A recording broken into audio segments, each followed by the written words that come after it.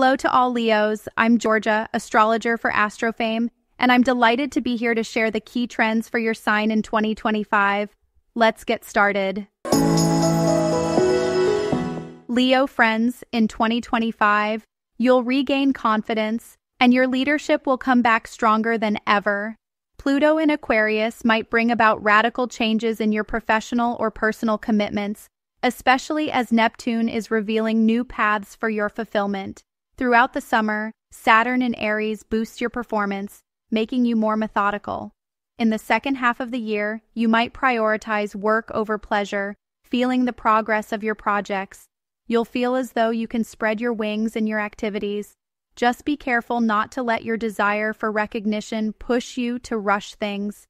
To achieve your ambitions, don't skip essential steps and plan your projects with precision.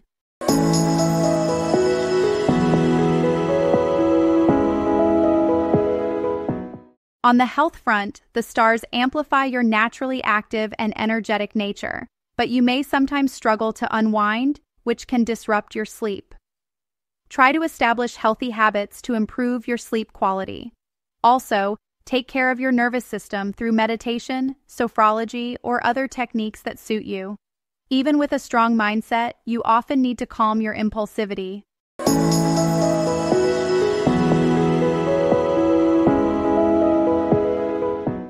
In love, get ready to embrace romance and dance in a shower of Cupid's arrows.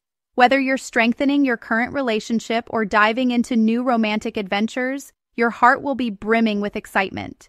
With your overflowing generosity and fiery passion, expect thrilling experiences that make your head spin. Break out your best outfits,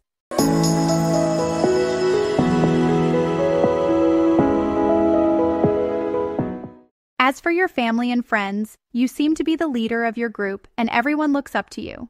When it comes to family, there are ups and downs. Sometimes you miss family reunions because your schedule is packed tighter than an all you can eat buffet. So keep an eye on those around you and try to be transparent in your discussions. This will help you avoid misunderstandings, hurt feelings, and maybe even a clash in September.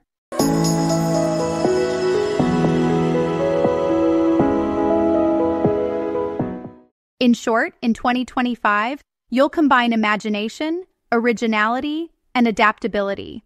Don't hesitate to create by following trends and the spirit of the times, all while staying true to yourself.